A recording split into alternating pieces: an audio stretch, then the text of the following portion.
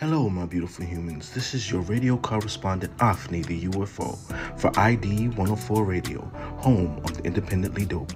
Today, we venture out to New York City to the Yard, multi purpose work event space located at 106 32nd Street. Imagine being in a space with a welcoming aura as soon as you walk in. As you look around, the art on the wall is the artist you're there to see. The crowd is of mixed ages, drinks and food are available, everyone is comfortable and just having a good time. This is all for the EP release of NYC Queens native romance rapper D Moore. Let's join the festivities. Applause, can make some noise to international R&B sensation, platinum recording artist and former Motown record signee. Can make some noise to Horace Brown. Right, the Horace Brown, and he was taking us. Taking you to paradise. Alright. Oh, yeah, yeah. yeah. Much of diamonds and pearls and sand. Just in December.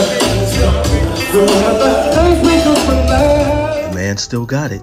Note to self catch Horace on the night when it's all about him. But tonight, Please make some noise for D Moore. Yo, yo, thank y'all so much for coming out tonight. My name is D Moore. And, uh,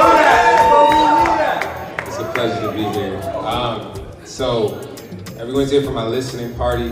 Uh, this EP literally took years in the making. It started with me writing a hook at the Paper Box in 2018. Um, just having fun, and now everyone's here for my debut EP. Um, yeah, I want to thank my parents.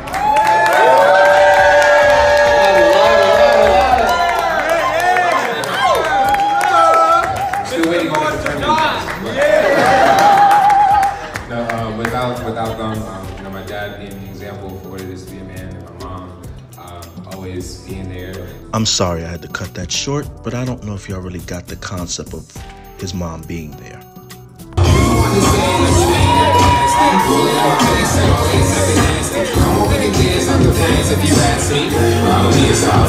Mom was definitely there, and the support and love was present.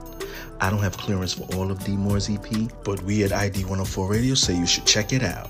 This has been your radio correspondent, Afni the UFO, for ID 104 Radio, home of the independently dope. Catch you later.